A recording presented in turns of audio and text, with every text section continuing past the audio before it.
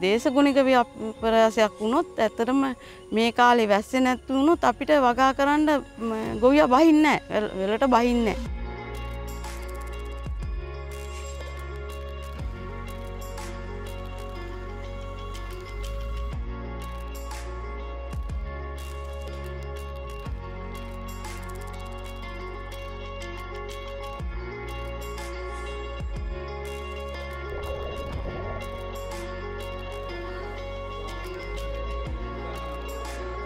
ඇත්තටම අලුත් ලෝකෙ අලුත් වෙනවා අපිත් අලුත් වෙන්න ඕනේ අලුත් දත්ත වලට යන්න ඕනේ එතකොට අපි ඒ ඩේටා භාවිතා කරලා අපි ඊට පස්සේ ඉදිරි කන්න සැලසුම් කරගන්න විදිය හදා ගන්න පුළුවන්